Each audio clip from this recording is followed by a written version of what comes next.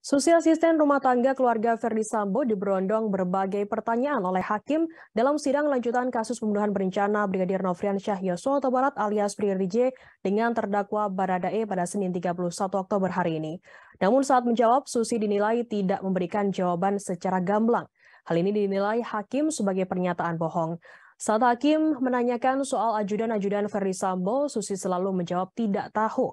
Menurut hakim, Susi selalu melakukan kebohongan. Pasalnya saat menjawab, Susi tampak berpikir terlebih dahulu sebelum memberikan kesaksiannya. Hakim kemudian bertanya lalu hal apa yang diketahui oleh Susi. Susi kemudian menjawab bahwa tugasnya hanya memasak, tak mengurus para ajudan. Susi juga memberikan keterangan yang berbeda-beda saat persidangan. Bahkan hakim mengancam akan memidanakan Susi jika terus berbohong. Tanya itu dalam persidangan, Susi memberikan keterangan yang berbeda dengan apa yang dituliskan dalam BAP atau berita acara pemeriksaan. Menurutnya dalam keterangan di BAP tersebut dibuat dalam kondisi takut dan gugup saat diperiksa oleh penyidik Polri.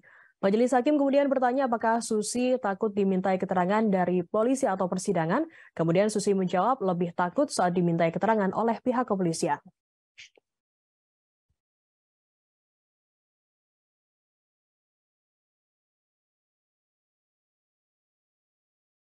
Terima kasih sudah nonton. Jangan lupa like, subscribe, dan share ya.